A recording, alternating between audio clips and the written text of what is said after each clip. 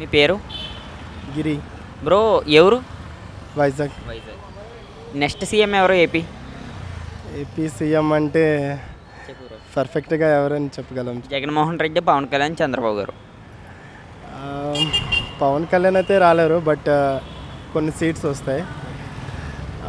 Fifty fifty chances bro. నీ opinion ఎవరు అయితే బాగుంటుంది? నా ఒపీనియన్ మ్యాక్సిమం పవన్ కళ్యాణ్ అయితే బాగుంటుంది. ఎందుకు పవన్ కళ్యాణ్ గారు?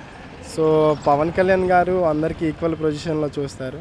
సో ఒక రెస్పాన్సిబిలిటీగా ఫీల్ అవుతారు ఏ విషయమైనా.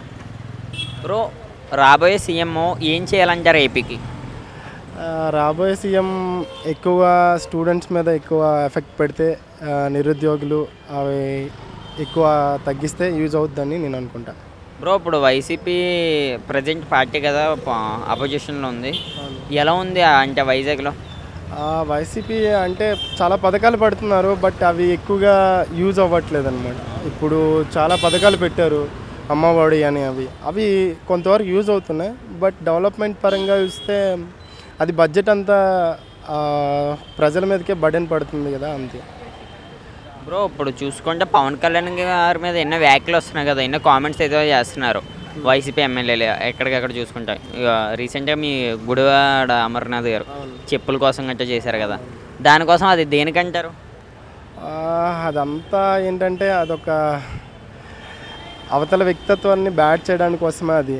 పవన్ కళ్యాణ్ గారు ఏంటంటే ప్రతి విషయాన్ని ఒక దీనిగా తీసుకుంటారు. బట్ దాన్ని ఏంటంటే పర్సనల్గా చేస్తున్నారు రాజకీయం పరంగా అంతే. సో నెక్స్ట్ వస్తే పవన్ కళ్యాణ్ గారు వస్తే మ్యాక్సిమం ఉపయోగపడుతుందని నేను అనుకున్నాను బ్రో మరి టీడీపీని జనసేన పొత్తులో వస్తున్నాయి కదా ఒకవేళ గెలిచే అవకాశాలు ఉన్నదా జనసేన? ఎయిటీ పర్సెంటేజ్ గెలిచే అవకాశం ఉంది. జగన్మోహన్ రెడ్డి గారు అంటే జనాలు ఎక్కువ మంది ఉన్నారు పీపుల్స్ బట్ గెలిచే పొజిషన్ అయితే ఒత్తిడి ఈసారి నెక్స్ట్ వస్తే చంద్రబాబు నాయుడు పవన్ కళ్యాణ్ ఇద్దరు ఎవరు ఒకరు రావచ్చు.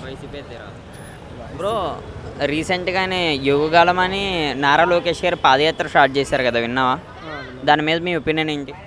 సో ప్రజల యొక్క ప్రతి ఒక్క ప్రాబ్లమ్ తీసుకోవడానికి కొంచెం గవర్నమెంట్ సైడ్గా తీసుకెళ్ళడానికి అది యూజ్ అవుద్దని నేను అనుకుంటున్నాను. మరి అదే పాదయాత్ర మీద వైసీపీ ఎమ్మెల్యేలు కొడాల నాని గారు కానీ ఎవరి కాళ్ళు కామెంట్స్ అయితే చేస్తున్నారు కదా పప్పు అని ఒక ముద్ర కూడా వేశారు. అది పోయిందంటారా మారారా లోకేష్ గారు? డెఫినెట్లీ ఆ లోకేష్ ఇప్పుడు అప్పుడుతో కంపేర్ చేస్తే ఇప్పుడు ప్రీవియస్గా మాట మాట్లాడడం కానీ ఏదైనా కంపేర్ చేస్తే కొంచెం better better more than better previously okay thank you bro thank you